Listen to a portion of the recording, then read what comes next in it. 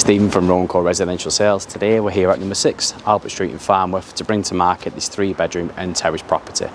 This property inside is very unique with a very open space living. As you walk in through the main front door, you're basically greeted by the lounge. You then go in through to the diner and then in through to the kitchen.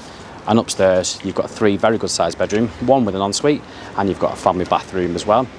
The area, uh, you're located in uh, centre of Farnworth, so you've got fantastic transport links uh, into Bolton, you've got St Peter's Way, you've also got access to the M61 motorway, as well as two train stations at Farnworth and Kearsley, uh, which is just down the road. So let's go inside and have a look.